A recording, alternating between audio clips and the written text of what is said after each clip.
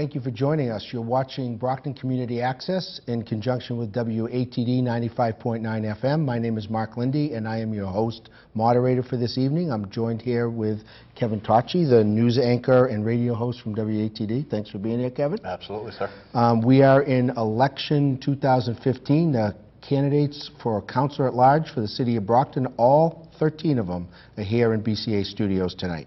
We're going to start off with opening statements. We did a little drawing prior to uh, the start of the debate, and we're going to go right in order. Everybody gets a minute to introduce themselves and tell you who they are. So we're going to start with number one, who drew first, Michael Zarrella. Michael, walk up to the microphone, and uh, we will hear from you.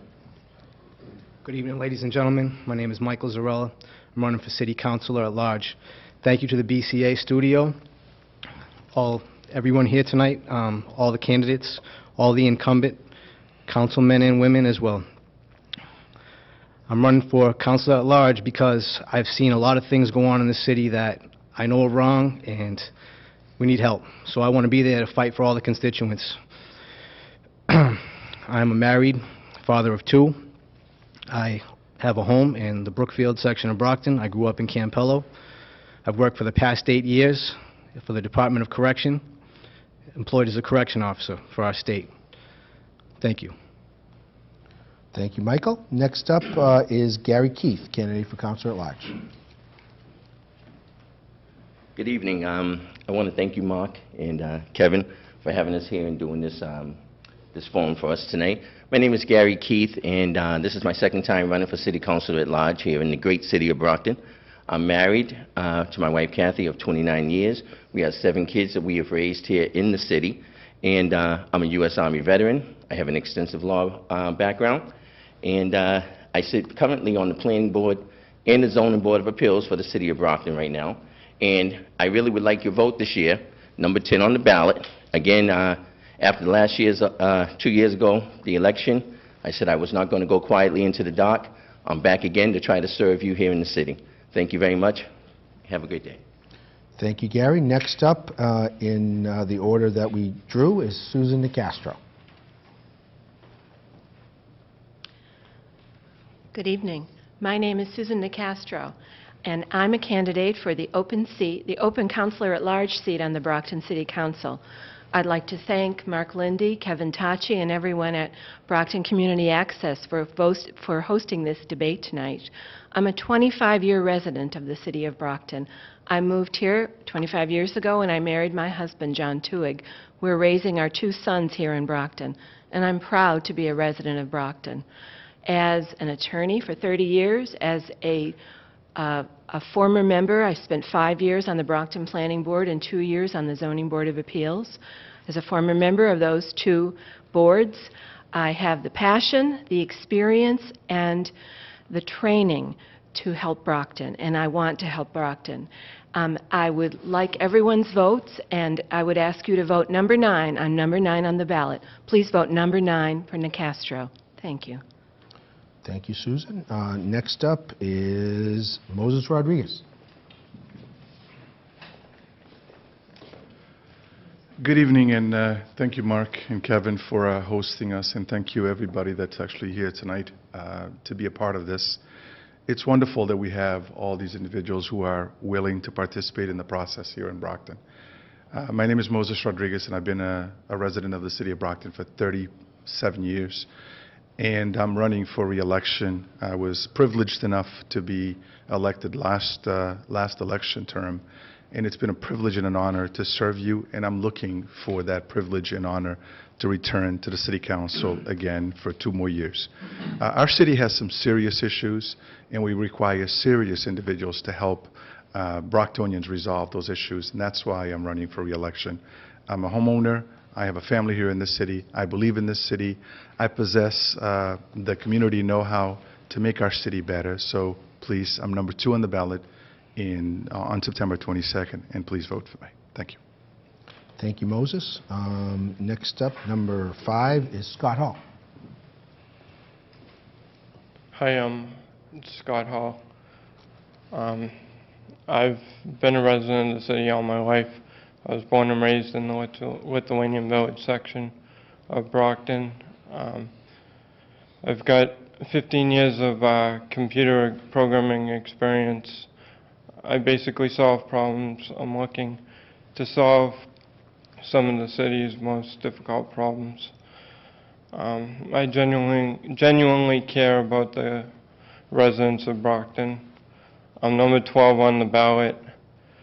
Um, I just want to say one of the things that really concerns me is this power plant issue and the, the from what I'm hearing, the, the di- it's going to be run by diesel now, and I think the municipal water supply um, has enough probable carcinogens within the water supply, and I don't like the idea of the power plant. Thank you. Thank you, Scott. Um, Scott is number five. Number six is Shane Barnes.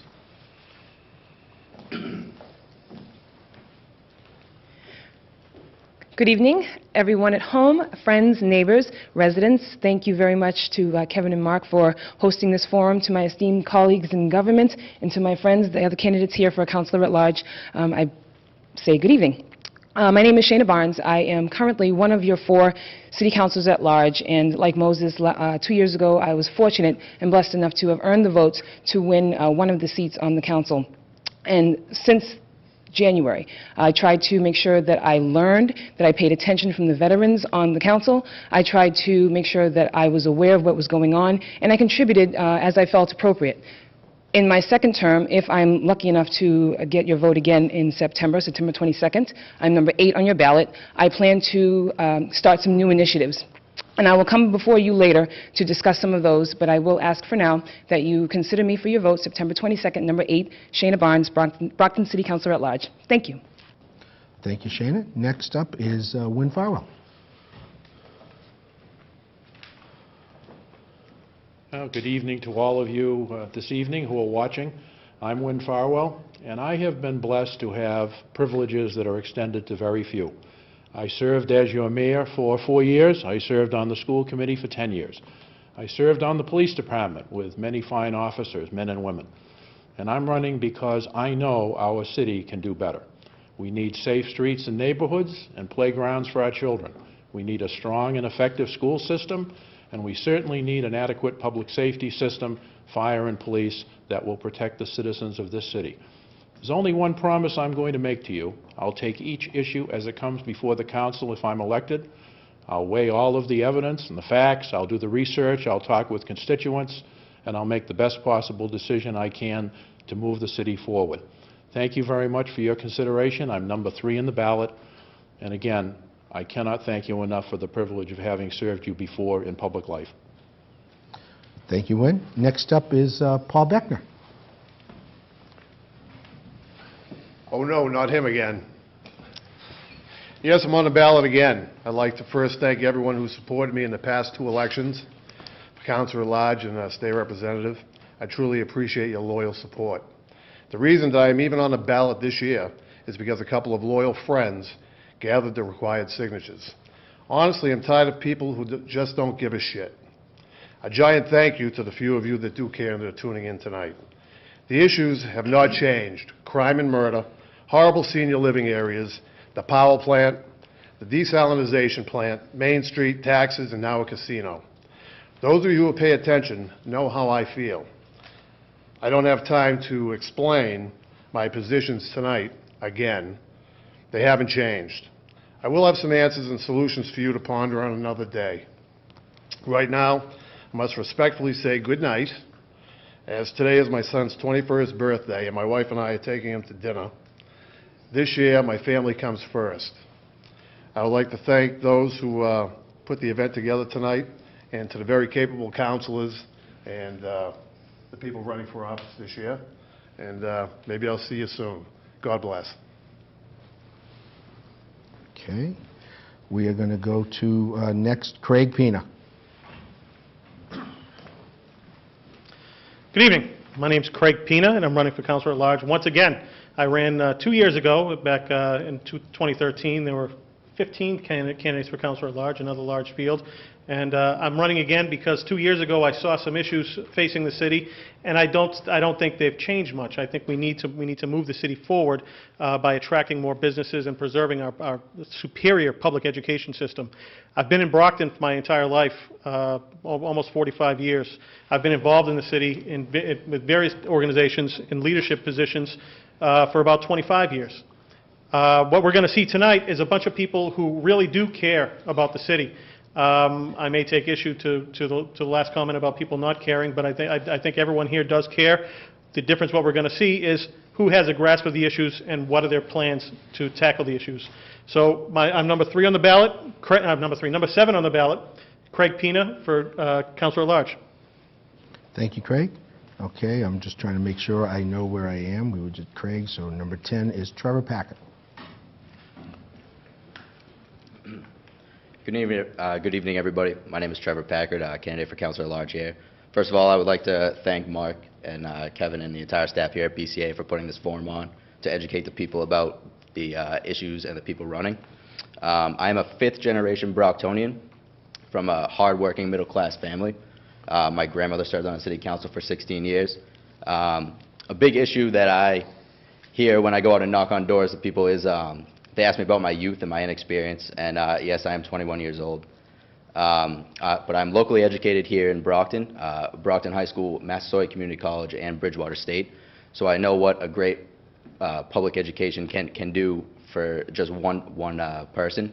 Um, I currently work with a nonprofit organization, Coaching for Change, up at Brockton High School. Uh, we teach poverty-stricken and non and um, poverty-stricken kids how to be self-reliant with um, economics. Um, I would just like to ask you to vote for me on September 22nd, Trevor Packard, uh, number 11 on uh, the Councilor at Large ballot. Thank you.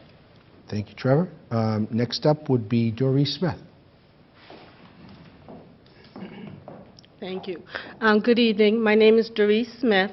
Um, Thank you, Kevin, and thank you, Mark, and thank you for all the candidates that are here tonight.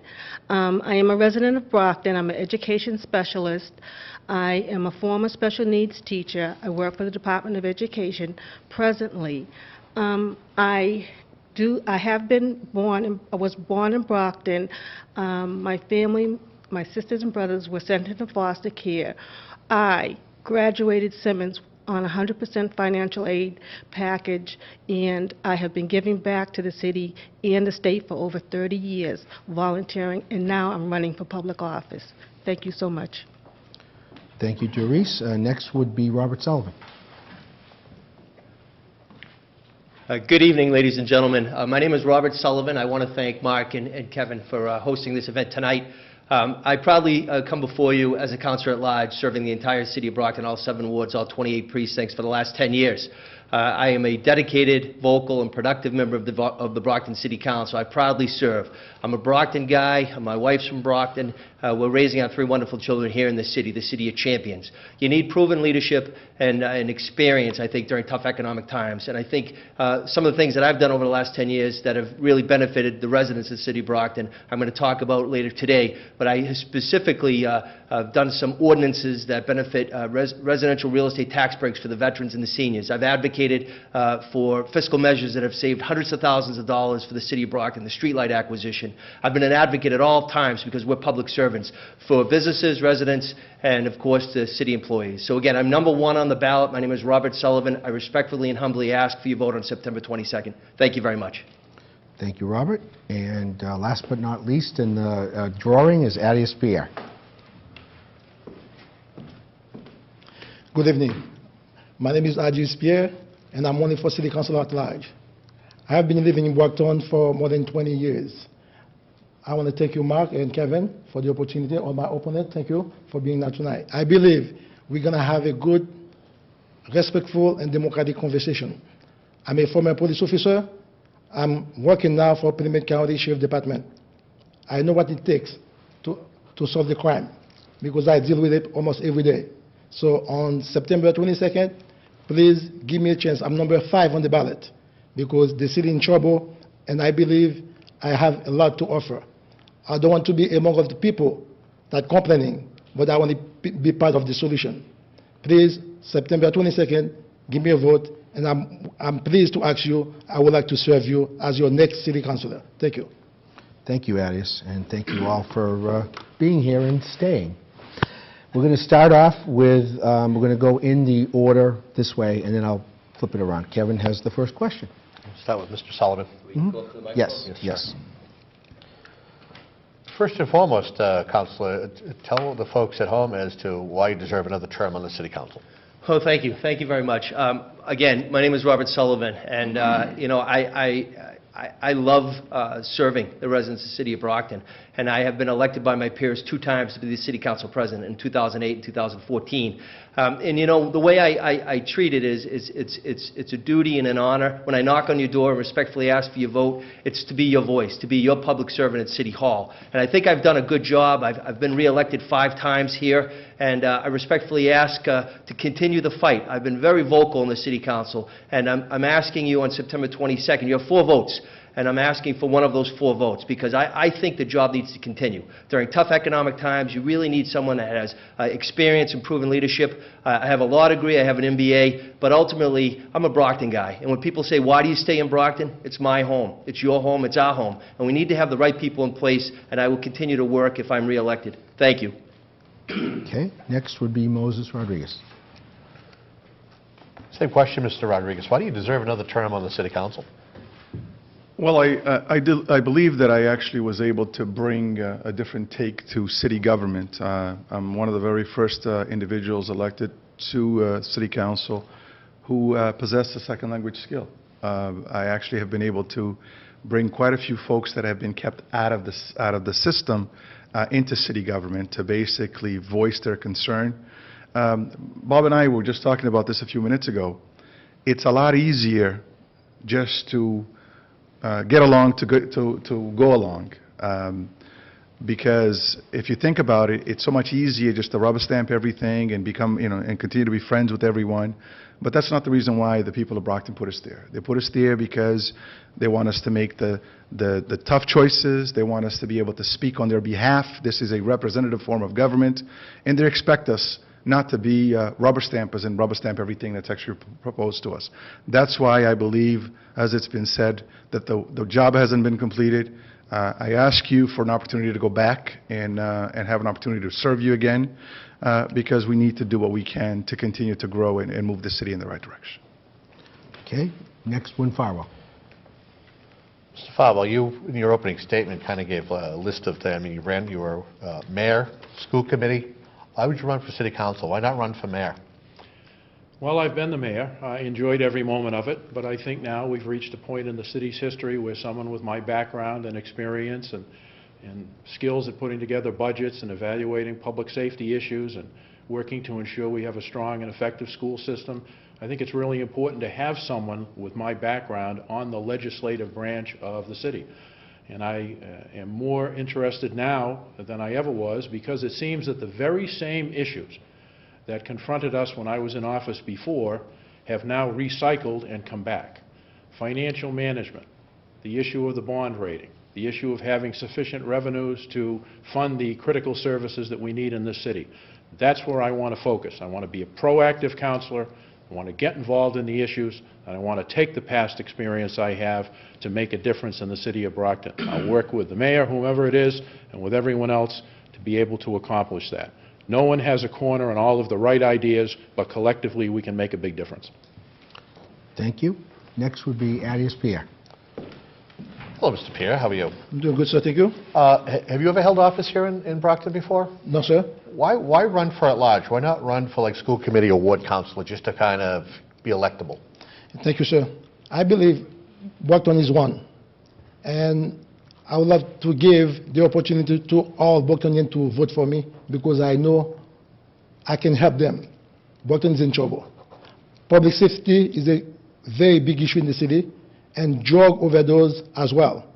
So you need someone with experience like me who will deal with that, those issues.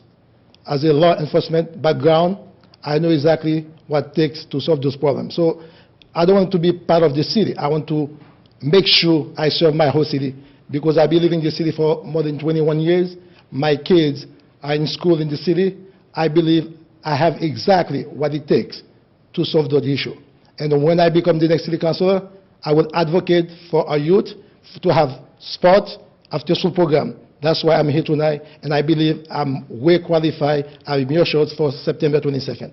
Thank you. Thank you. Okay, Michael Zarrella. Same question to you, Mr. Zarrella. Have you been elected to office before? No, sir. So why not run for a school committee or for ward council, just to kind of be electable? I think, first off, I ran council at large because I know more people throughout the whole city. I feel like I know the city more as a whole. I'm new to my ward. I've only lived there for five years. So I felt like having the experience throughout the whole city would have helped me to, uh, to be better in line with, with the people's thoughts and what they need for the whole city. Um, I think we have one of the most diverse populations in Massachusetts, and you know, I want to help not just not just the longtime Brocktonians, but also the people in the Cape Verdean community, the Haitian community, anyone that needs help. I'll go to any neighborhood, any street. Thank you. Thank, you. Okay, uh, Craig Pina. Mr. Pina, have you been elected in the, uh, in the city before? No, I have not. Why not, why not run for a small office like school committee or run for ward councilor? Um, As I've said before, I I ran two years ago in 2013 uh, for Councilor at Large, and those- it was the same reason. I, uh, my my roots are in the entire city. I grew up in the Ashfield area on Dandy Road, uh, where my family, where my family grew up, and I spent 10 years uh, raising my family in the in the Cardinal Spellman area on Debbie Road. Uh, Now I live on the on the west side, near West, near West Middle School. Um, I've been involved in organizations throughout the city, helping, helping uh, our youth, advocating for our youth, advocating for uh, special needs students, uh, creating a first-of-its-kind-in-the-world unified sports program for the city of Brockton. Uh, I've also, I've also been an advocate for business through the Chamber of Commerce for over 20 years. I believe that I have what it takes. I believe I, I know the issues. I have a, a firm grasp of the issues, uh, and I, uh, this, this is where I think I should be. Okay, Thank you. Thank you. Uh, Next up, Shaynah Barnes. Shaynah, why do you deserve to be reelected to a second term? Well, first of all, thank you for that question. Um, I think that I have proven that I am an effective counselor.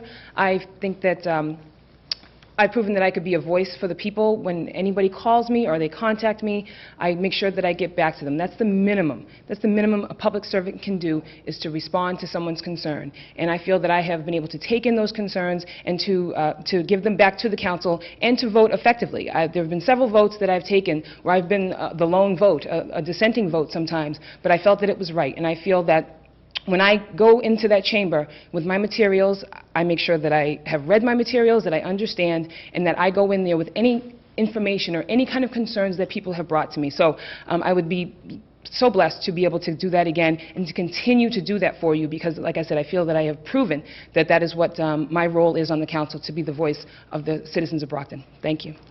Thank you, Shaynah. Uh, Susan Castro. Hello, Susan. Susan, I know you've served on the planning board. Have you been elected to an office before? I have not. I guess I'm a virgin. Okay. So I guess the question would be, why not try to go for school committee or ward council to kind of get elected, be electable? Well, I thought about the various options, the school committee, uh, the ward that I live in, which would be Ward 4, or at large. And at the end of the day, I reflected on my experience, my five years on the planning board and my two years on the zoning board of appeals. And on both of those boards, um, I reviewed applications for properties that are located all over the city. And I kind, of, I kind of got used to a citywide approach. I visited nearly all of the properties that I, I um, was asked to decide on. And so I got to know the city like I hadn't known it before. Um, and so at the end of the day, I thought, having had a citywide approach, that at large um, best met my abilities and my willingness to serve. Also, too, I'm interested in issues facing the entire city. Thank you, Susan. Okay. By the way, I'll just remind everybody, if I'm holding up two hands, it's usually 10 seconds, five is one. If you can't see Jay, I'm kind of giving cues as- well. Um, Gary Keith would be next. Hello, Mr. Keith. Uh, Have you been elected to office before? Um, I held a position with, uh, as the chairperson for the Massachusetts State uh, Head Start Program. Were you elected to office? Uh, Yes, I was. Okay. Uh, Why do you want to run for uh, school, why do you want to run for at-large, and why not run for like school committee or ward council here in the city? Well, two years ago, I ran for um, councilor at large for the first time. Um, Why I didn't pick the ward councilor, I I can't really tell you that. But since I jumped into the whole pond the first time, basically, I decided to run again this time here. Um, The reason why I want to represent the whole city is because on the new slogan on my new cards is "I am Brockton." And what that means basically is that I can relate to every walk of life that sits here and that sleeps within the borders of of Brockton. Whether you're homeless, whether you're unemployed, whether you're a six-figure income, whether you're, uh, no matter what it is, whether you're on food stamps, welfare, I've been there and I can understand the plight and the issues that they have. And I want to represent the city as best I can and represent those people also. Thank you. Thank you. Thank you. And we're going to go to Trevor Packard. Trevor, same question to you. Why not run for school committee or ward council, just to get your feet Yeah, wet? of course, thank you. Uh, That's actually a question I get a lot when I first talk to people. Um, Being very young, they say, why not throw your hat in the ring in a lower position, try to win your way in and work your way up? And uh, to that, I can say, my youth is really an asset citywide. People always tell me, well, you know, it takes a lot. You have to go door to door, every single neighborhood. You have to talk to 100,000 people. You have to meet the needs of everybody in the entire city. But I have the youth, I have the energy, I have the time, and I have the passion to really cover the ground citywide. And I think that the issues that face us today are issues that are going to face us 20, 30 years from now when I'm still here in Brockton raising a family, living here. A lot of people in my generation that I go to school with, they grow up and they say, man, I can't wait to graduate and get out of Brockton, get out of here, go to Easton, go to Abington, go to a Bridgewater.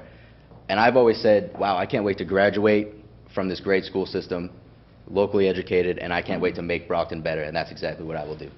Thank you. Thank you. Okay, Scott Hall. Same question, Scott. Why not run for school committee or ward council, just to kind of get your feet wet?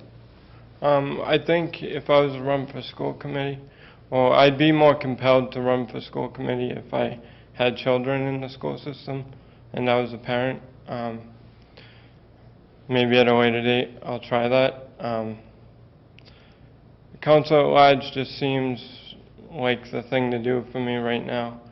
There's a lot of issues that I'm very concerned about, and they're across the whole city.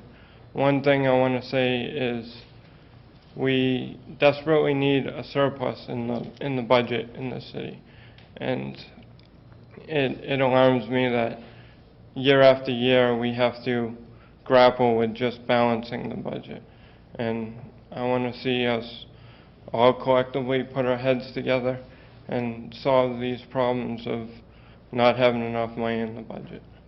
Thank Thanks Scott. for your time. Okay, and uh, Doryce Smith. Number 12 this time, so uh, Okay. it's not 13. S- Same question. Wh- Why run for at-large? Why, why not run for school committee or ward council?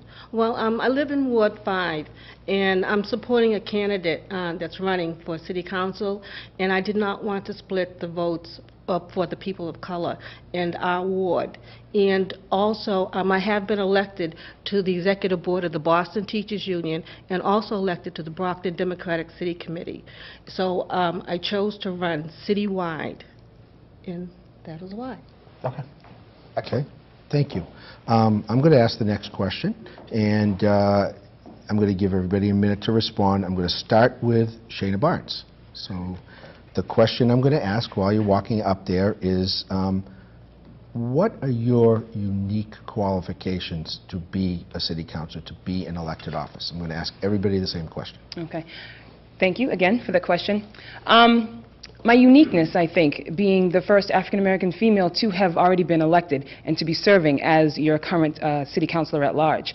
I came to the council with a new perspective. I feel that I have shared that. I feel that I have been uh, as representative as I can be for my neighbors and my friends and the residents of Brockton, uh, and also for myself as a resident. I came there with, uh, tried to give some common sense uh, approach to some real issues that we were dealing with. And um, I'm not through with that yet. I have some initiatives that I want to start, and those are actually some unique ideas that um, have not been tried here before. So if given the opportunity to be able to serve a second term, I will definitely make sure that those uh, projects come to fruition, and um, I, that's about it. Okay, thank you. Thank you. Next would be Susan Nicastro.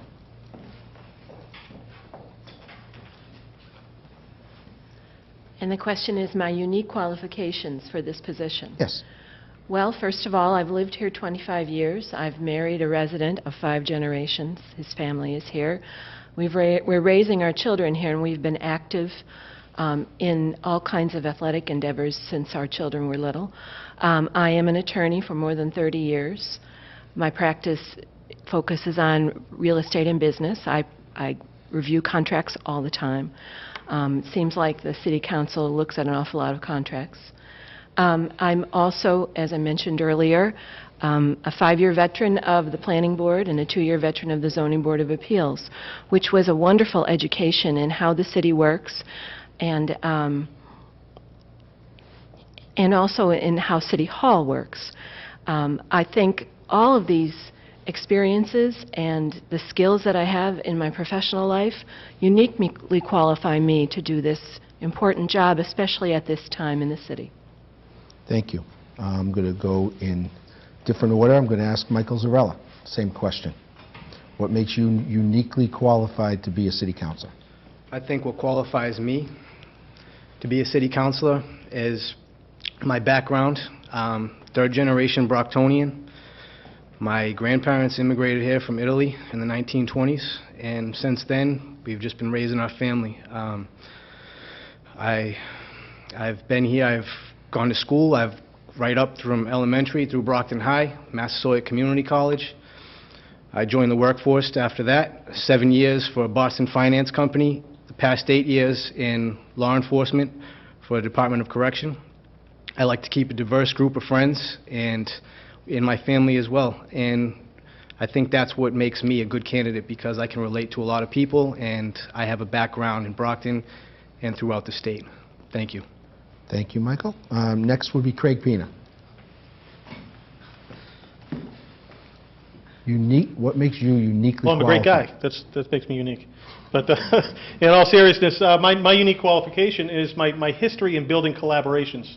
Uh, When I worked with Special Olympics Massachusetts, I, I, I- I was able to, to overcome roadblocks by building collaborations between Special Olympics Massachusetts, the city, city government, uh, Brockton Public Schools, and business in the city to, pro- to provide that, that program that lasted a, a, quite a long time. It was a precursor to the Boxer Buddies in the city of Brockton. What I plan to do is to to, to make our budget work better for programs like the Council on Aging, uh, Veterans Affairs, and, uh, and, and the libraries, to, through collaborations. Collaborations with the Veterans Administration and the- State Department of Veterans Affairs. Uh, collaborations uh, for, for school sports, like uh, my, my, my fellow candidate Trevor Packard mentioned, uh, Coaching for Change. I've been involved uh, in talks with Marquise Taylor, who's, who's the director of Coaching for Change. And uh, this, that's a unique program, and it's facing a lot of the same roadblocks that I faced with Special Olympics, and I believe I can help them, which increases middle, middle school sports participation, not only in middle schools, but in high school and colleges. Okay, thank you, Craig. Um, Next up, Gary Keith. Same question. Uh, What makes you uniquely qualified to be a city councilor? Well, sir, first of all, from raising a large family here in the city, um, actually, I wore a lot of hats. But being a, a U.S. veteran of the 82nd Airborne, basically at that point there, we've always uh, did things as a team. Okay, and I, what Bob said earlier is that we have, we need strong leadership. Okay, and I'm just one part of the puzzle. I think that we do have some strong leadership, but I think that we need to also put some other pieces to that. I think that I'm a team player, but I'm also a person that can think outside the box on my own when I have to. But uh, I could definitely be an addition to what we have right now. Um, with the leadership that we do have from one of the, uh, some, some of the incumbents that we have right now, I think that I would actually be able to help push Brockton forward uh, along with what we have right now. I think they need some other pieces to the puzzle to actually keep Brockton going. Thank you, Gary. Um, Trevor Packard, same question. Uh, What makes you uniquely qualified to be a city councilor? Uh, well, I think uh, the one thing that makes me glaringly unique here is obviously my age, and I've touched upon it a few times. Um, But being so young, w- w- what I'm trying to do is, I'm trying to bridge gaps between generations. A lot of people say, well, you're young, you're running for a certain demographic, but I'm not. I know where the city ca- uh, comes from, I know who built this city, I know the important issues that face everybody in the city. And one big thing for me is being young, um, again, I'm going to be here 20, 30 years from now. So over borrowing, overspending today affects me, my family, my, my peers, and the people that I care about 20, 30 years down the line. Uh, I would say that being a fifth generation Brocktonian is also unique. Uh, my family also helped build this city to what it is today, and I, I hope to carry on the legacy and push the city forward in a new, better direction. Thank you. I'm going to ask Scott Hall the same question. What makes you unique, or what unique characteristics do you have to bring to the office? Well, um, I believe I'm the only computer programmer on the ballot. Um, I've held positions anywhere from being an architect to an analyst. I'm very analytical. Um, I've had to solve enterprise level uh, problems um, throughout. I've made a career out of it. Um, I do a lot of video. That's definitely unique. I'm always, I always have a video camera in my backpack. Um, I just like I'll just volunteer for anything at the the cable access. You know, whether it be um, one show or another, it doesn't matter. You know how controversial it is. I feel like everybody has a right to their opinion and deserves to have their voice heard. Um, thanks for your time. Thank you. Uh, Doryce Smith, um, your unique qualifications to be a city councilor. Um, Thank you, Mark.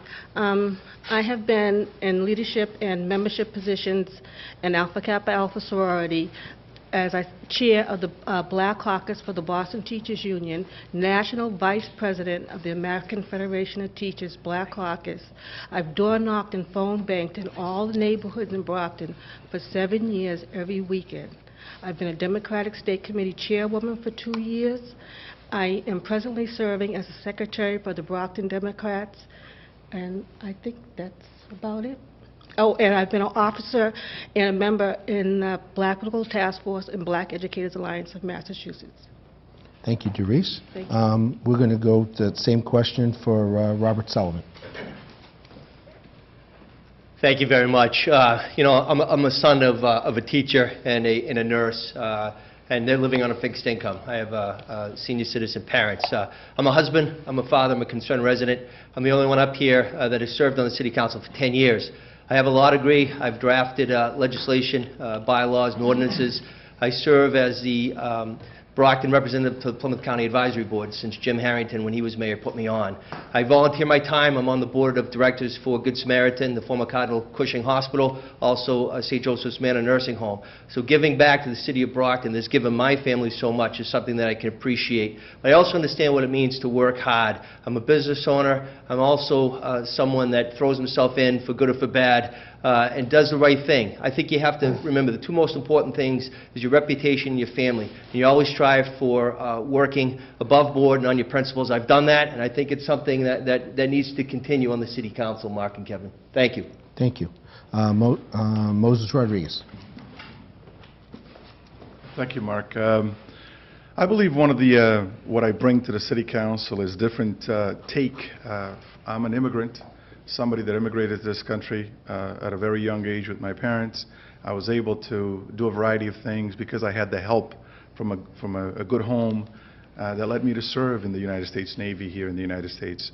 I bring a different perspective to the city council because I'm able to gap the different uh, immigrant groups that actually live in the city they call the city home.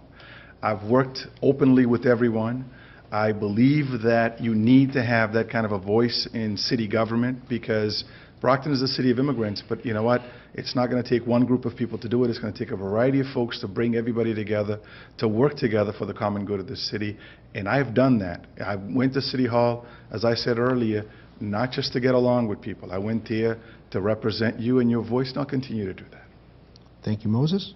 And Adius Pierre. Oh, I'm sorry, Win Farwell.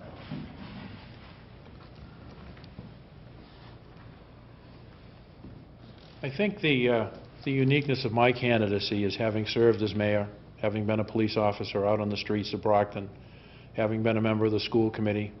I understand and I get municipal finance and municipal government. I understand school funding, school funding formulas. I understand the devastating effect that crime and drugs have on families in this city. And I think applying all of that experience and all of that knowledge and working with fellow councilors and with neighborhood groups, I think we can make a big, big difference on addressing the issues that face the city. It's not going to be easy. There are no magic wands to wave. But if we listen to one another and we work with, um, with, with one another, we're going to make a difference. And I, again, thank the citizens for giving me the honor of serving in those past positions, and I'm ready to roll up my sleeves and use that experience and make a difference if I'm elected councilor at large. Thank you. And Adius Pierre. Thank you, Mark. Uh, My qualification to be city councilor, when I see young people in jail where I work in Plymouth, I believe they don't believe to uh, to jail, they believe uh, they belong to school. So I'm doing it for my children, for your children, to inspire them, to let them know sky should be their limit. They can do better than that, than drug and illegal guns. I'm an immigrant. When I immigrated here uh, over 20 years ago, I worked very hard.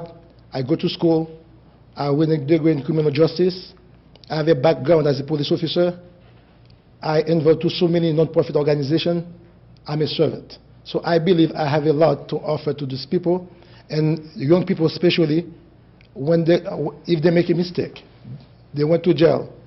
When they get released, we need to give them a chance to reintegrate in the society. That's what I'm fighting for. So I believe I'm qualified to serve the city of Brockton. Thank you. Thank you. Uh, Next up, a question from Kevin. Who we go first? Um, We're going to start with Doryce. Therese? This is, this is a question, I think, that's on every Brocktonian's mind. We saw what happened yesterday, number of incidents regarding gun violence.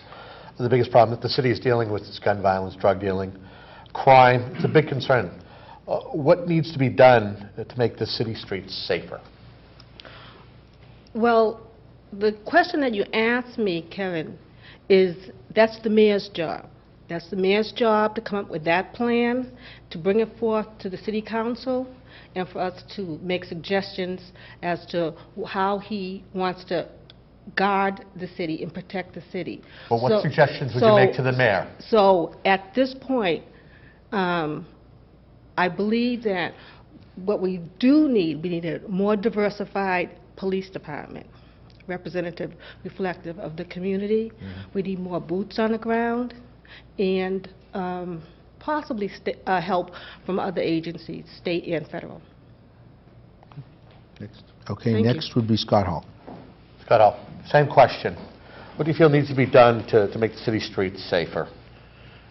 I think we need to engage the constituency and more uh, community activities.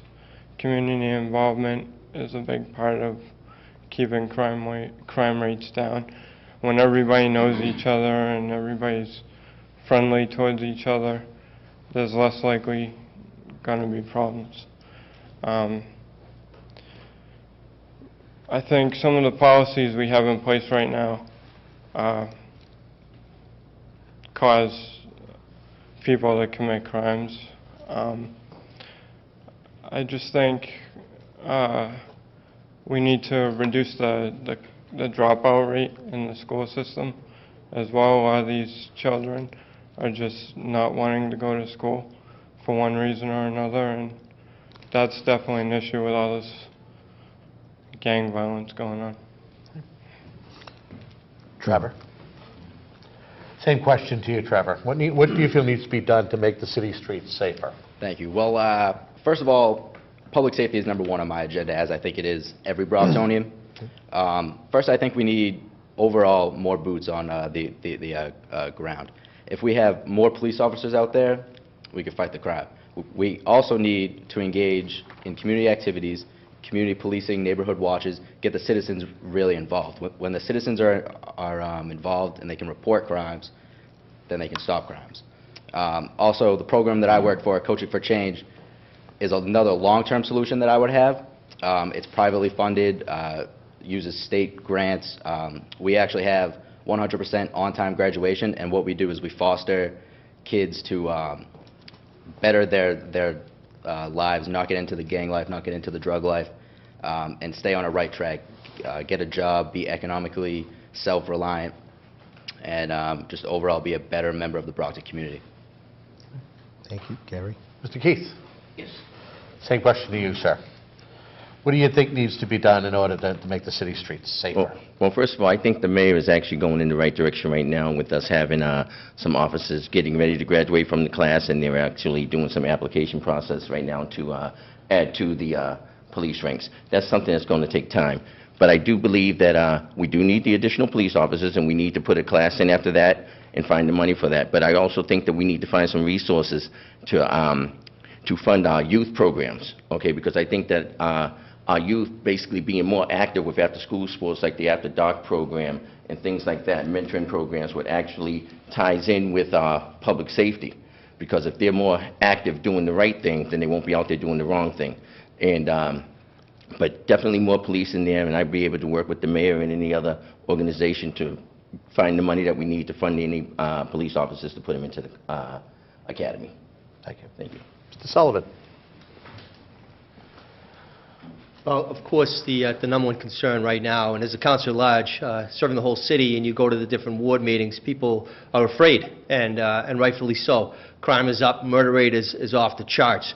Um, Some of the things that I've done as a city councilor is, is, is 10, ratified 10 different budgets, um, agreed to hire uh, police officers. But there's a misnomer that these new police officers are going to be able to hit the streets uh, running. Uh, They need to have the, the, the training, they need to have the vehicles. We've approved uh, the acquisition and purchase of, of new cruisers. Um, But we also need to not just fill retired spots, but bring on new police officers, bring on new fire. But ultimately, uh, all crime is, is, is connected to drugs, right? Either prescription drugs, uh, the opiate epidemic right now. So we need to work collaboratively. Uh, We need to be able to educate the youth. We need to be able to, uh, to combat it. As was stated today, the neighborhood watch crime, it needs to continue, and we need to continue to have the right people in place and uh, not just rubber stamp, as my colleague said, but to work for the best interests of the city of Brockton, even if that means going against the mayor. Thank you. Mr. Rodrigues? Same question, sir. What needs to be done to make the, the city streets safer? I actually want to, I I want to put in a plug to the uh, men and women in the uh, Brockton Police Department. I have, I I believe we have one of the best police departments in the, uh, in the state, to be honest with you, if not in the country. Because to me, the answer is not throwing police at the problem. Uh, We have, we now have probably more police than we've had in quite some time in the city, and the crime is still going up. I believe what we need to do is go back to basics. It was mentioned here that we need to kind of revitalize the entire uh, uh, crime watch in the neighborhoods, but we need to bring the community together. We need to bring the, the community and the police together to have a serious dialogue, because throwing police and throwing money at, a- a- at the crime hasn't solved it. You know, you, all you got to do is open the newspaper and figure out that it's not working. So I think we need to go back to basics and bring the community and the police together and law enforcement together to have a real discussion on how to best solve the, uh, the crime problems in the city. Mr. Farwell? Same question. What needs to be done to make the city streets safer? I think at the end of every fiscal year, the city should take a look at those monies that are appropriated but not expended or encumbered, and that, those funds should be carved out and put in a separate fund to bring on additional police officers. I'd like to see a three to five-year master plan on how we can increase the personnel in the police department by taking a look at who's going to be retiring, anticipated retirements over those three to five years, because when an officer retires, they're at the higher level of the wage scale. The new officer coming in is going to be at the lower end of the wage scale. So there are some savings there that might give us an opportunity to bring on additional officers. We need a strong and effective program in the schools because the police cannot be seen as the enemy by young people. Police have got to be seen as someone you can trust, you can relate to, and you can go to if you have a problem. And lastly, I think the officers need to be a little bit like us. Get out of the cruiser, knock on doors, and build relationships with people. You can have a thousand police officers in this city. If they're not getting along with the residents, fortunately they are now, then you're going to have a problem. Okay. Mr. Pierre? Same question. What needs to be done to make the city streets safer? Yeah, Kevin, as, as you can see, all my opponent almost said the same thing about public safety. It's not about how many police officers that we have. It could be 200, 300. It's the strategy that we use. Community policing, that's what I will advocate for. Those police officers need to get out of the cruisers, to go to the neighborhood. Most of the time, the residents see the uh, police officer as the enemy.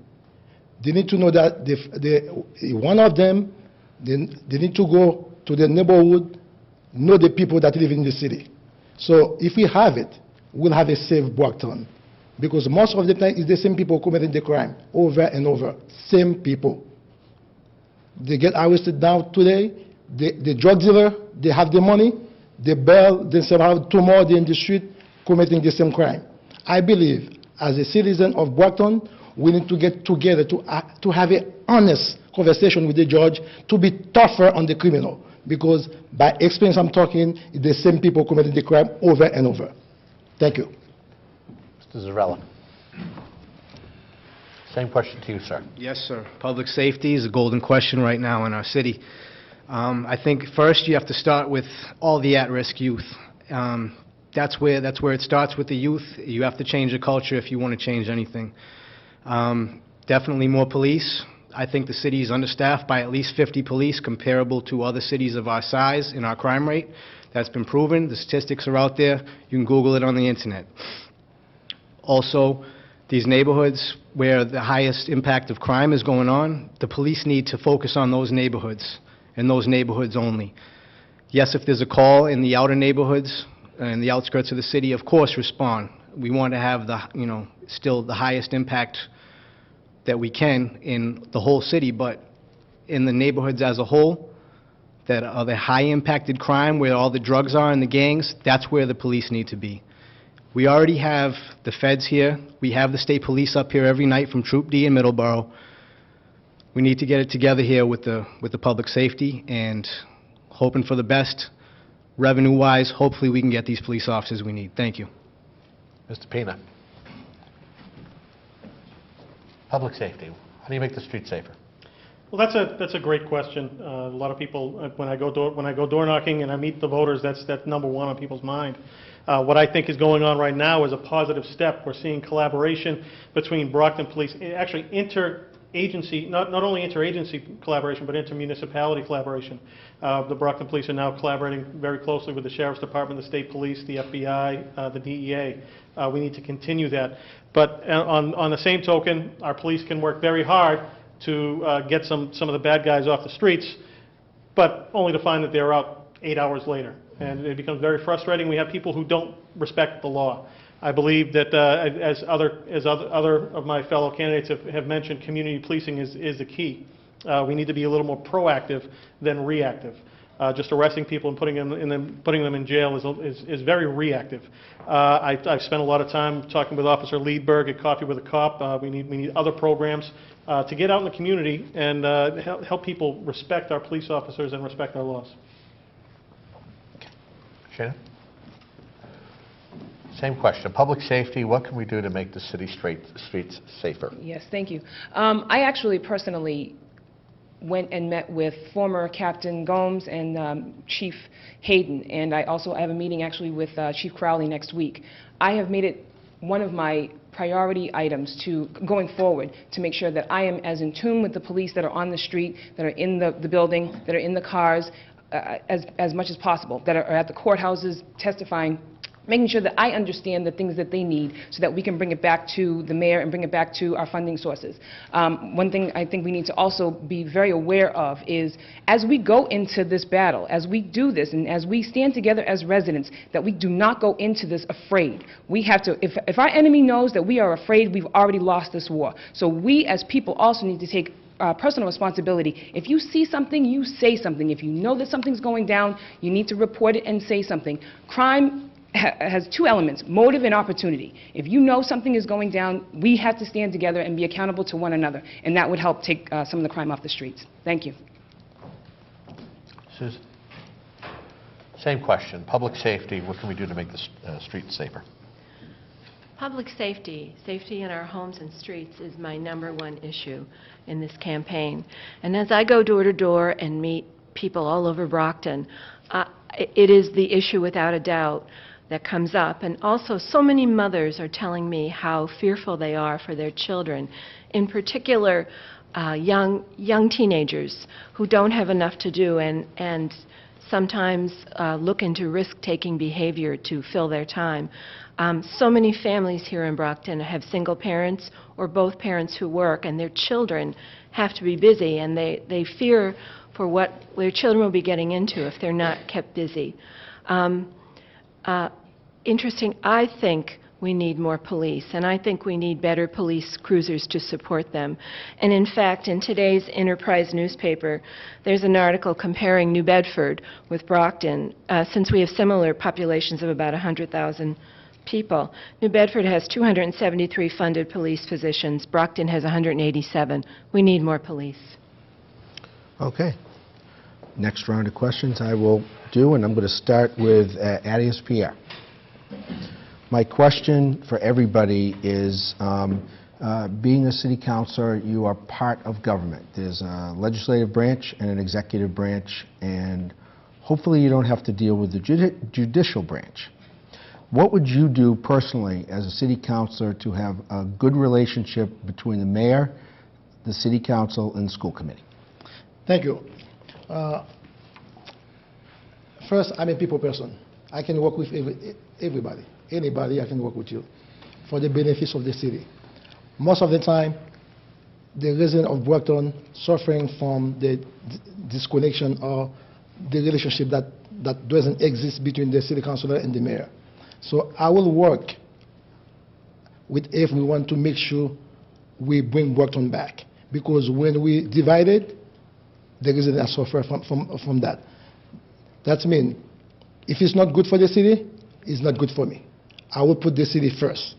And like I said, my, from experience, I've been working for, for various organizations, and I talk to everybody, and I know from my background, I can work with anyone to make sure the government work as a whole, not personally. Let's leave the, the personal issue behind and work for the benefits of the city. So I believe I can do that, and I'm willing to work with the mayor and the, my colleagues, uh, city councilors. Thank you. Thank you. Next would be Michael Zarrella. Same question. Uh, um, Relationships between the council and the mayor, what would you do to uh, enforce them, reinforce them, make them better? I think the biggest thing is making yourself available to everyone. Um, If anybody wants to have a meeting with me or anybody that's a candidate, you need to go and make that happen. You need to sit down, get on the phone, make sure you get back with emails, return phone calls, whatever it takes.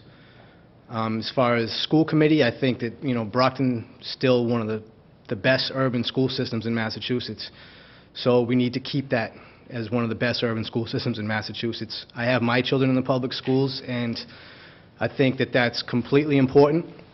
As far as the mayor, uh, we don't, as city councilors, we don't have to agree with everything that the mayor does and says, but we do need to work together for the common purpose, which is creating a better Brockton. Thank you. Okay, next would be Shaynah.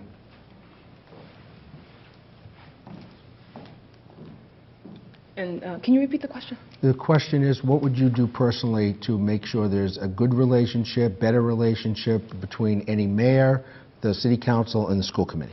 Well, um, I, I have a slightly limited perspective, but my first uh, year on the council, my, my colleague in government, Mr. Sullivan, he was our uh, council president, and he initiated um, quarterly meetings and brought everyone together, the mayor, the school committee, the city council, and we had them in uh, the four quadrants of the city to make sure that the residents also had a chance to voice their opinion and, and to get some information uh, heard and to give some information. So um, that's something that I definitely will continue to support uh, in my next term with whomever is the, the next uh, council president.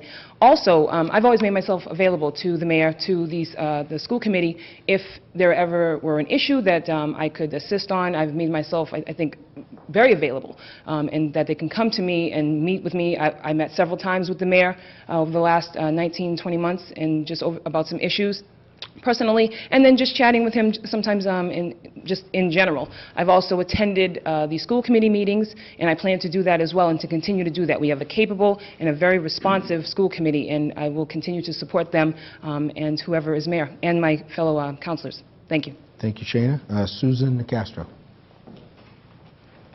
Same question. Do you need me to repeat it? Yes. Uh, What would you do personally to ensure a good working relationship between the city council, the mayor, the school committee, um, regardless of who's in office, uh, mayor, city councilors, or or school committee members? Well, first we look to um, the law that governs what we're doing in these roles. And the charter sets out that the executive, the mayor, is in charge of the day-to-day operations of the city. And it also sets out the um, obligations and the duties of the city council. Um, The school committee um, is, uh, is the custodian of the largest line item on the budget of the city, and that is, of course, uh, our school department, our education department. Um, we, we're obliged to all work together for the betterment of Brockton. Um, I think what's lost on a city level, on a state level, and in Congress, in fact, is the notion that we can disagree without being disagreeable. Um, I think if we all put Brockton first, then then we, come, we can go a very long way in solving our differences and helping Brockton to move forward. Thank you. Uh, Gary Keith. Uh, Question about relationships between the mayor, the city council, fellow councilors, school committee members. What would you Yes. do to uh, make it a good relationship? Well, first of all, if I'm elected to city council at large, uh, I'm a public servant, and I do know how to serve, as I've been doing that all my life, basically. Um, But with that comes the responsibility from not only the uh, legislative, legislative branch, but the executive branch, to where it's, it's back and forth. I should be able to go to his office and say, or who- her office and say, what can I do to help with this situation, vice versa, as well as the uh, school committee also. I should be open to them, I should be at some of their meetings to find out what's going on um, in those um, other uh, branches of government, to where basically, and let them know that you are accessible to them, uh, that you're there for them if, if the need be. But, you know, basically, uh, we have a city here that we're serving, and we have to do whatever it is, and we have to be accessible to each other, you know, to ma- move the city forward. Thank you. Thank you. Uh, Same question for Trevor Packard. Um, Uh, So the first time I met Mr. Keith, actually, we were having a discussion outside City Hall, um, and he introduced me to a gentleman that he has known for a while, and he commented on how me and Gary were were able to stand there and have a civil discussion. Uh, We didn't agree on everything, but we we were talking like human beings, and we were respecting each other.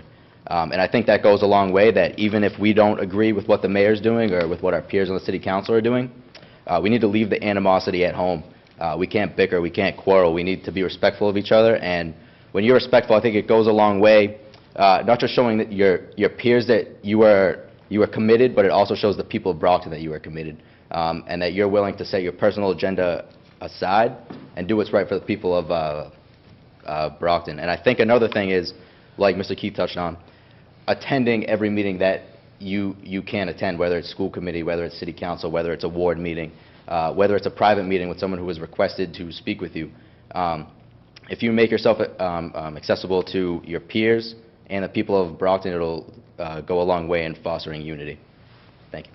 Thank you. Uh, Same question for Scott Hall. Um, uh, Relationships between government officials, mayors, city councilors, school committee members, what would you do personally to make those relationships good? I believe a good start is figuring out what we as a collective agree upon and going forward uh, with that, galvanizing initiatives to tackle some of the tough issues that we can all agree upon.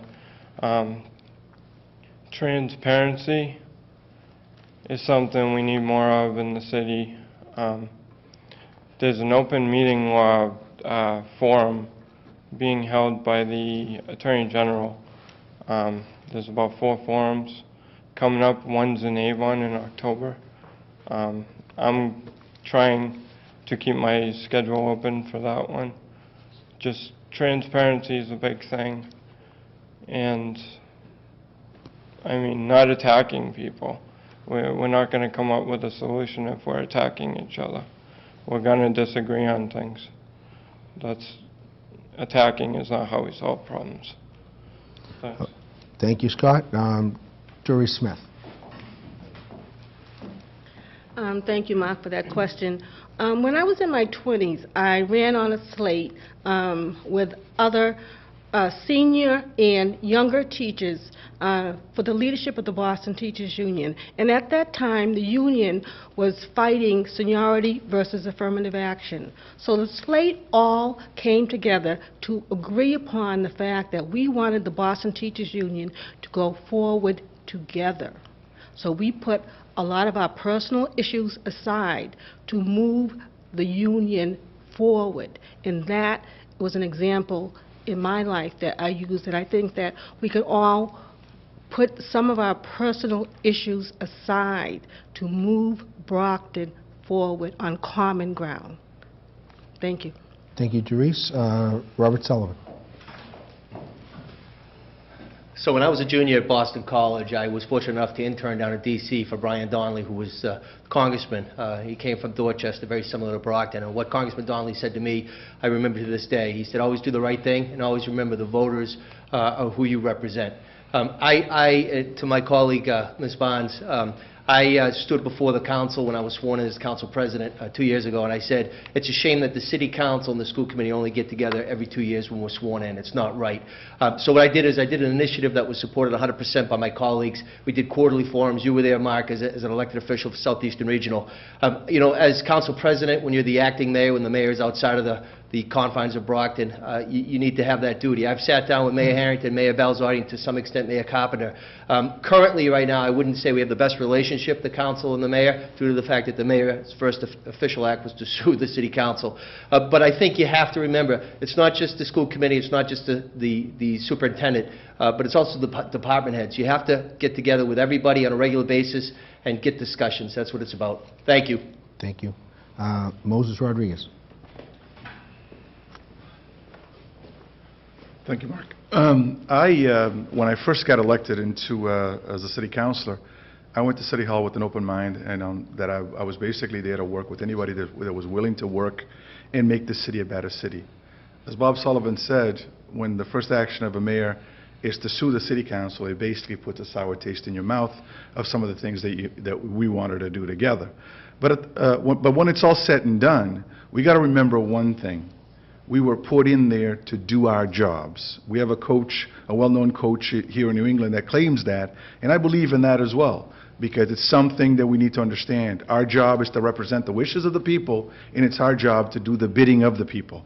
It's not about me, it's not about the mayor, it's not about the members of the city council, but when it's all said and done, we got to do what the voters want us to do, and it's to represent their interest in this community, in the city, to make the city a better city. So it's not about friendships, it's about doing our jobs. Thank you, Moses. Uh, Farwell, you've been on two of those three bodies of government, and you're seeking to be on a third. What would you do to uh, make sure there's a good relationship? You know, it's, it, it's interesting. I think sometimes public officials forget that they actually hold a job, and that job receives some compensation or benefits. And certainly our fellow Brocktonians should expect and demand that we conduct ourselves with professional courtesy and respect towards one another and towards all of our fellow Brocktonians in the various neighborhoods. Uh, we don't want the foolishness in Brockton that goes down in Washington. Uh, I, for one, am just sick to death of what goes on, and if it were to happen here in Brockton, we'll never solve our problems. We'll never come together as a council. Specifically, though, I will tell you the one thing that, that I live by, and that is if I had a very vehement disagreement with the mayor on a particular issue, or perhaps the school superintendent was coming before us to make a presentation. I'm not going to surprise them with a question. I'm not going to try to embarrass the mayor. I will make sure that I reach out to them in advance. I will tell them where I'm coming from, let them know my concerns, and ask them to bring the appropriate information with them. I think that's what we should do as public officials. We're people first. Treat one another with respect and dignity.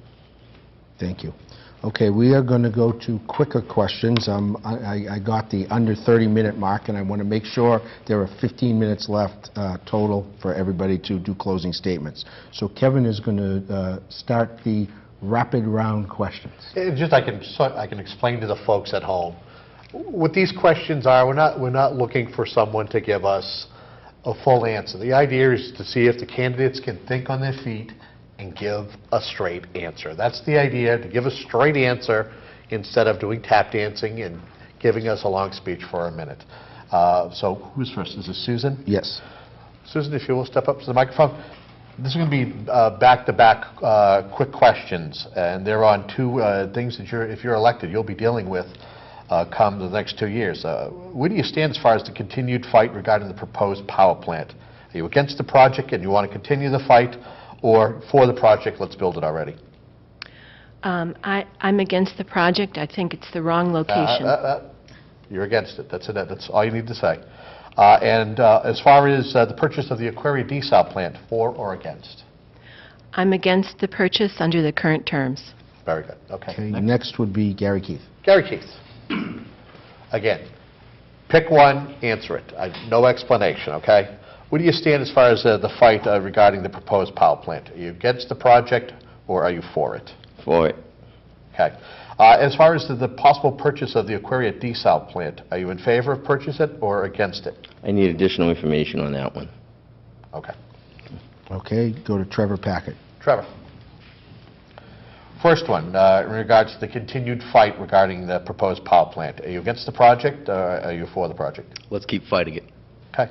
Uh, in- uh, As far as the Aquaria desal plant, uh, there's a, um, are you for or against purchasing it? Absolutely against it. Okay. Okay, Scott Hall. Scott. Scott, where do you stand regarding the fight against the proposed power plant? Uh, Continue the fight or uh, for the project? Continue the fight. Okay. Uh, As far as the letter of intent for the Aquaria desal plant, uh, are you in favor or against purchasing it? Against purchasing it. Okay, Robert Sullivan. Mr. Sullivan? Well, you guys know I'm 100% against the uh, proposed power plant, and at $88 million, I'm absolutely against the acquisition of of the Aquaria. Thank you. Thank you for saving me 20 seconds. Okay, Moses Rodrigues. You want to save 20 seconds, too? I'm going to save you a lot more than 20 seconds. I'm te- totally against the power plant and totally against purchasing a, a water plant for 88 million bucks. Very good. Okay, Win Farwell. Mr. Farwell. Mr. Farwell, uh, where do you stand in regards to the continued fight uh, for the proposed power plant? Are you against the project or for it? Thumbs down on the power plant and thumbs down on the desal plant purchase. Very good. Okay, Adius. Mr. Pierre? Yes. Uh, Where do you stand regarding the, uh, the fight for the proposed power plant? Uh, Are you against the project or for it? I'm against the power plant. Okay. And as far as uh, the letter of intent to possibly purchase the Aquaria desal plant, for or against? I want to put, it- I I would like to put it on on the ballot. Okay. Okay, Michael Zarrella. Mr. Zarrella. First question up, uh, where do you stand regarding the continued fight regarding the proposed power plant? Are you against the project or are you for it? I'm against it, sir. Okay. As far as the letter of intent to possibly purchase the Aquaria desalination plant, for or against? I'm against it, but I'd also like to review the contract. Thank you. Okay, Craig Pina. Mr. Pina. I'll save you some time as well. I'm 100% in favor of the power plant, and I'm again, I'm- I have questions about the price of the desal plant. Very good, thank you. Shaynah. I'll also save you time. I stand with my colleagues. I'm against both projects. Okay, and Doryce. Dries, if well. Uh, Where do you stand on the continued fight of the proposed power plant? Against the project or for the project? I am for the project, the proposed power plant. Okay. As far as the letter of intent uh, is to purchase the Aquaria desalination plant, for or against? Um, Like Gary Keith, I would say I would need more information before I answered that question. Okay, now, I have a question. I got a cue from uh, my floor director behind the scenes. Did I miss somebody? I did not? No, Okay. it was a wrap. Fine, just making sure. Uh, On one of the previous questions. Do you have another rapid question? Yeah, I actually, I actually did. One more, one more rapid question, and that would be, um, should the city, coun- who do we want to go first? Um, Actually, I'm going to correct myself, if You you can let me. Yes. Bear with me. I did not give Craig Pina a chance to answer that last question, as I was pointed out. No, he did. That was a question before the last question. Before the last question. Yes. Well, well, we can- About relationships. Yeah. You want to move forward? Okay, I just want to be fair. Okay, So do we want to ask it? go ahead. All right, so who am I asking? Um, Take your pick. Uh, We'll we'll go, we'll start with uh, Ms. Smith down the end. Ms. Smith, if you would. Uh, Should Brockton have a full-time city council, yes or no? Yes. Okay, very good. Mr. Hall? Full-time city council, yes or no? Um, I would have to Yes or no? understand, well, Right now, it's a part-time city council. Should there be a full-time city council? I think it's a full-time job, you know, it's gonna be, it is a full-time job for Thank you. everybody doing it now. Okay. Trevor? Yes, we should. Are you in favor of, I know the job is a full-time. I've Yes, spoken it- with with some of the folks. Do you think it should be full-time? Um, It definitely should be a full-time responsibility. Gary? Mr. Keith? City council, should it be a question. full-time, yes or no? Most definitely.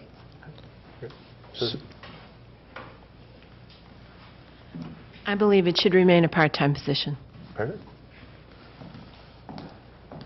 Councilor? It should be officially designated a full-time position. Thank you. Mr. Pina? To do the job correctly, I believe it should be a full-time position. Mr. Zarrella? City council, should it be a full-time position? Yes, it should be a full-time position. Mr. Pierre? Yes, sir, it should be a full-time position. Thank you. Mr. Farwell? Part-time or someone will want a $90,000 salary?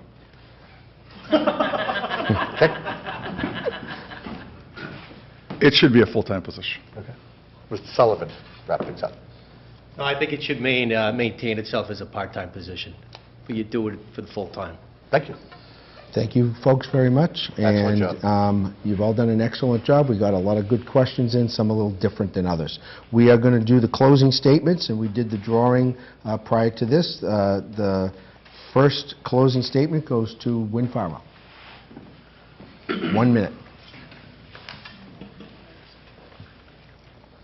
It really comes down to this with every election. We're important because we're the candidates, but the really important people are watching this program. I'd like to have your vote on September 22nd. I'd like to take the past experience, which I have, and lend it to a position as councilor at large. I understand collective bargaining, municipal finance, school finance, school policy. I understand public safety, and I'm willing to work with every person in every neighborhood to make a difference in this city to address the issues of safe streets and playgrounds, a strong and effective school system, and having adequate public safety personnel, which also includes the fire department. We can't leave them out. They're a vital public safety service here in the city.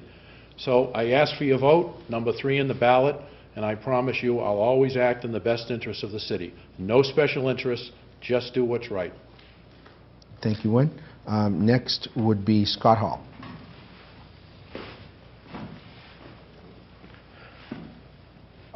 I I will listen to the people before I move forward with any yay or nay vote. Um, I'm a problem solver. I've made a living out of it. Um, I'm not a good salesman. I'm not trying to, you know, like uh sell something to you. I, I'll be honest. I will genuinely care about everybody's perspective regarding every issue we- we have in the city. Um, I'm number 12 on the ballot, and I thank you for your time. Thank you. Uh, Next would be Gary Keith. Hi, again, I want to thank you for uh, letting us into your homes tonight, and I want to thank you for this forum, uh, putting it together for us. Again, I would love to be your city councilor, and because I believe, I bring a passion to it. I ran two years ago, and I didn't do too shabby since then. I actually um, sit on the planning board, and I currently sit on the zoning board of appeals. Um, I'm involved, and basically, I want to serve you because what has been happening here in the city of Brockton has not been working okay? The city council that we do have and uh, the whole city council that we have um, and everything else, something is still missing. And it's up to you, the voters, to find the right pieces to put together. You have to put the- a championship team in City Hall. And uh, I'm asking you to give me your vote. I'm number 10 on the ballot. Again, if you're happy with what's, the way Brockton has been going, then keep what you have. But if you're not, then look for the changes that are uh, well-deserved. Thank you very much. Okay, next, um, Robert Sullivan. I want to thank you again tonight for, for having this event. Uh, My name is Robert Sullivan, and uh, I'm asking for your vote on September 22nd. I'm the first name on the ballot. I'm first for Brockton, always. Uh, I love this city. I love our community. I want to continue to work with you, and more importantly, work for you. Be your voice on the city council. You elected me in 2006, and you've re-elected me four separate times since that time. I want to continue to make Brockton a safe community, a community that everybody should be proud of. We are the city of champions. Please look at my website, uh, www.electrobertsullivan.com, or feel free to give me a call on my cell phone, 508-846-1208. I do that because I want to represent you and continue to really be an advocate and a voice uh, on the city council. Again, you can vote on September 22nd for four people, uh, quality people here. Everybody should be applauded for putting their name on the ballot. But I want to be one of your four votes. I want to continue to serve as a councilor at large for the city of champions, the city of Brockton. My name is Robert Sullivan, number one on the ballot. Thank you very much. Thank you. And next would be Moses Rodrigues. Well, thank you, uh, BCA, thank you, ATD, for doing this, uh, and thank you, voters at home that are watching us at this time. These elections will be uh, probably one of the more important elections that you have coming up. Uh, I was fortunate enough to get uh, your vote last time, and I ask you again for your confidence, your vote on September 22nd, because I believe it's important to keep in place what's functioning, what's working. We have done some wonderful work in City Hall. We have done some wonderful work representing you and your wishes. It's important that we don't come as professors to profess at you, but to listen to what you're saying and to take your concerns to City Hall and to city government. We've done that, and I'll continue to do that. I I have been your voice, I'll continue to be your voice. It's important for Brocktonians to be represented in city government, but it's important for all Brocktonians to be represented in city government. So I- I'm counting on you to send me back for a second term, and I promise you that I'll continue to be that voice for you. Thank you and good night. Thank you, Moses. Um, Next, Craig Pina.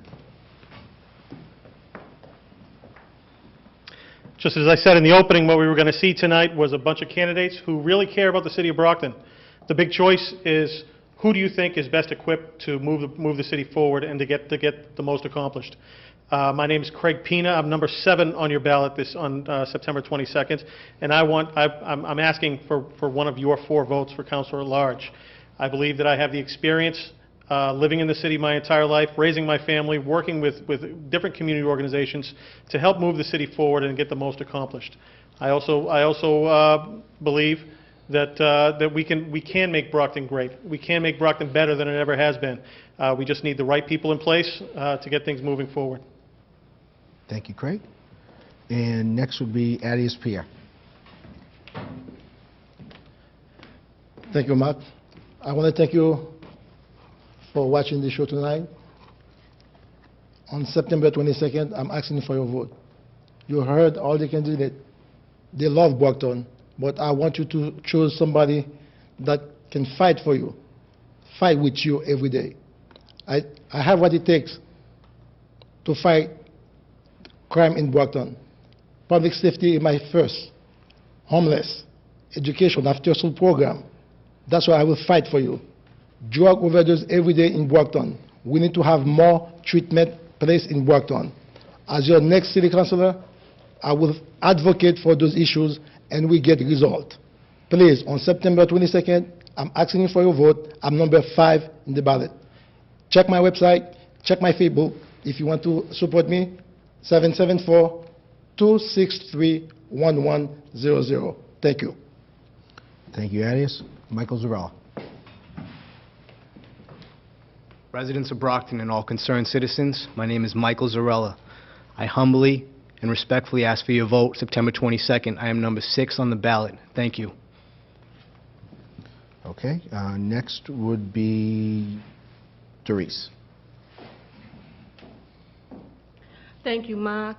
Uh, Thank you, Kevin, and thank you to the candidates and to the voters at home.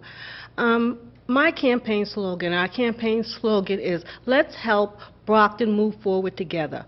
all the neighborhoods united, moving Brockton forward. Our agenda, number one is public safety, number two is diversity, number three is pro-business, and number four is education. Public education, which is the bedrock of public equal access. Please look at um, my, I have a Facebook page. Um, My cell phone number is 617-686-3265, and we look for all participation. And please, I want to see you at the polls. Thank you. Voting. Thank you, Doryce. Uh, Shaynah Barnes. Thank you. I'll echo my colleagues and friends in government and thank you two gentlemen for hosting this. Thank you to the BCA Studios for having us here today. Um, And thank you for watching at home, and thank you in advance for those that will be listening and watching uh, at a later airing. My name is Shaynah Marie Barnes. I will be number eight on your ballot on September 22nd. I currently serve as one of your four councilors at large for the city of Brockton. I humbly and respectfully ask that you consider me for your vote again this time. I'm not done. I have things that I want to do. I have things that I want to do with you. I think that some of my ideas, for instance, an idea that um, I've worked on these last two years is the dog park that is actually coming to fruition very, very soon. We have a design, we have um, partners that are, are going to make that happen, and that's going to be a good community, um, a, a community effort that we can do together. Also, another thing that I'm going to propose this year and try to develop is a City Hall to go. And it's a mobile City Hall van that will allow you to be able to have access to City Hall facilities and programs in your neighborhood. So those are just two of the things that I, I plan on doing, and I humbly ask for your vote. Number eight, Shaynah Barnes. Thank you. Okay, uh, Trevor Packard. Uh, Once again, thank you, Mark, thank you, Kevin, Uh, thank you to BCA staff, thank you to all the candidates for being a part of this forum tonight. Um, on- Once again, people, their their biggest problem with me is my youth and my inexperience. Um, And what I would like to say to that real quick is just, don't mistake my inexperience for incompetence.